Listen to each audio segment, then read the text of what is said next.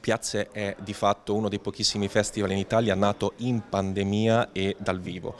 Eh, è nato perché c'era un'esigenza da parte di alcune comunità del territorio eh, di eh, ritrovarsi nell'atto teatrale, quindi noi semplicemente come Università di Urbino, perché noi siamo il centro teatrale dell'Università di Urbino, abbiamo raccolto questa esigenza e così eh, è nato il Festival Piazze. Eh, quest'anno toccherà circa 10 borghi dell'entroterra con spettacoli di assoluto livello, quindi artisti di, di, di, primo piano nel panorama nazionale e lo fa grazie a questa particolarità. Noi abbiamo costruito un palcoscenico in legno, modulabile e smontabile, che riusciamo in qualche modo a spostare durante tutta l'estate da un posto all'altro. Questo ci permette di trasformare qualsiasi piazza in un luogo di spettacolo, in un teatro a cielo aperto. Si comincia il 27 di luglio da Sant'Angelo in Vado con Tindaro Granata, uno spettacolo bellissimo, Antropolaroid, che quest'anno ormai è, è, è al suo decimo anniversario avversario e si, si, attraversa praticamente tutta la provincia e si finisce a Gallo di Petriano l'8 settembre, quindi diciamo sono diversi mesi. Il ruolo dell'università è centrale perché il centro teatrale universitario Cesare Questa, come dice il nome, è parte dell'università, è un organismo dell'università. Se voi andate sul sito dell'università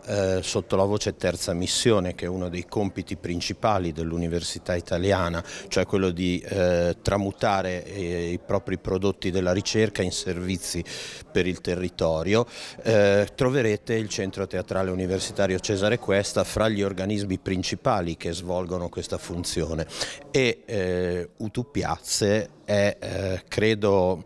una delle manifestazioni delle, mh, più concrete di questa attività sul territorio perché porta il teatro dove il teatro non c'è, tra, eh, trasforma in prodotti, chiamiamoli prodotti culturali che servono per la comunità perché il teatro ha un valore sociale, antropologico importantissimo per la comunità, eh, trasforma i prodotti della ricerca in eh, prodotti culturali di alto livello. Uno degli eventi che vorrei eh, sottolineare che mi sta particolarmente a cuore è un evento eh, che ho diciamo, quasi chiesto e che verrà fatto, che il, si farà il 31 di agosto a Isola del Piano e che è dalla semina al cielo, perché quest'anno ricorrono i 50 anni quanto con Gino Girolomoni e alcuni ragazzi di Isola del Piano andammo per la prima volta al monastero di Montebello. L'evento riguarderà Gino Girolomoni ci saranno anche probabilmente dei passaggi come avevo come mi era stato detto su Baldassare Castiglione che era il signore di Isola del Piano e le poste quel giorno faranno anche un annullo filatelico sui 50 anni di Montebello e della cooperativa Girolomoni.